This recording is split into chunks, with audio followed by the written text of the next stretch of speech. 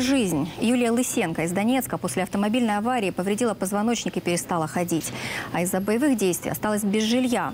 О борьбе хрупкой девушки за полноценное существование сюжет Виктории Чистюхиной. Мастер спорта международного класса, серебряный и бронзовый призер чемпионата мира по фехтованию, чемпион Украины. Таких высот дончанка Юлия Лысенко достигла, находясь в инвалидной коляске. Самые запоминающие – это вот серебро в Будапеште. Девять лет назад попала в ДТП и травмировала позвоночник. После этого перестала ходить. Училась в прямом смысле жить заново. Момент травмы психологически очень сложно перенести, но спорт дал мне вторую жизнь, и я решила продолжать и показывать все физические возможности. Сейчас гордость страны вынуждена скитаться по родственникам. Ее жилье разбомблено. Но несмотря на тяжелые испытания, спорт она не бросает. Несколько раз в неделю ходит на занятия по фехтованию. Вообще любому поможет, тем более в нашем положении, ну, вот если как инвалид. Вообще спорт – это жизнь.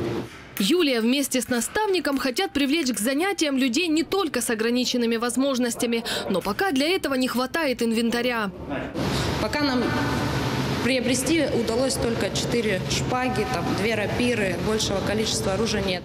Помимо спортивных хлопот, у молодой девушки главная забота – поддерживать свое здоровье. Ей необходимо регулярно принимать лекарства. Дважды в год она нуждается в курсе лечения.